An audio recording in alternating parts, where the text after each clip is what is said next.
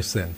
Portanto, são, são indícios e também com alguma prova, digamos assim, entre aspas, porque o que se diz também é que foi enviado em termos de recolha de prova para hum, o laboratório inglês poderá ter havido ali uma manipulação daqueles dados todos, portanto, algo que não se percebe como é que aconteceu, porque me recordo que antes de termos o relatório oficial, tivemos o relatório, digamos, preliminar, em que apontava no sentido de que os fluidos encontrados naquele carro alugado um mês depois do desaparecimento eram de Madeleine McCann.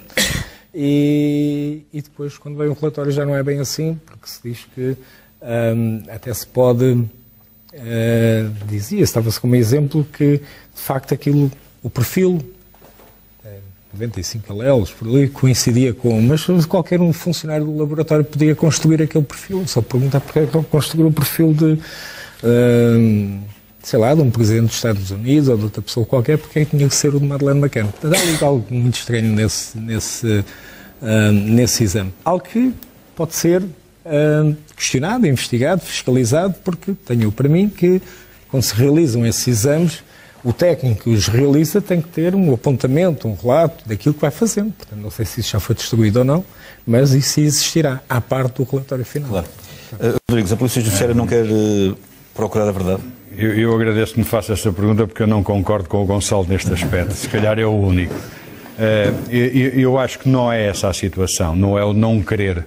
O que me parece é que, tal como eu dizia há pouco, este processo sofreu um bloqueio de tal maneira que, que, neste momento é extremamente difícil sair-se disto. Ou seja, o que eu quero dizer é que eu concordo, eh, porque, porque sou obrigado a concordar mesmo, com o Gonçalo quando ele diz a polícia britânica traçou uma linha de investigação em que resolveu uh, constituir uma quantidade de arguídos para, para, para, para credibilizar o, o, o, casal, para tirar de, de, de olharmos para este processo e os únicos arguídos que ali estão é, é aquele casal. Eles é que são os responsáveis pelo que aconteceu.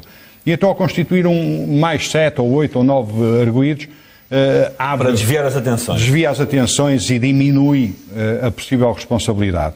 Agora, para se conseguir dar um passo em frente, num processo destes, os timings já foram todos ao ar, já desapareceu tudo. É preciso ter, termos, claro. termos esta noção de que é muito difícil neste momento recuperar um corpo, é muito difícil uh, recuperar, mesmo fazendo uma reconstituição, uma, uma, ideia credível e exata daquilo que se passou. Mas ela era imprescindível ser feita. Essa e tentativa eu, era imprescindível. Exatamente. Era um e eu, não, eu não, não é? percebo porque é que nunca se conseguiu fazer. E não foi por falta de vontade da polícia portuguesa, seguramente. Não foi por falta de vontade da polícia judiciária? Ah, seguramente que então não. foi por falta de vontade de quem?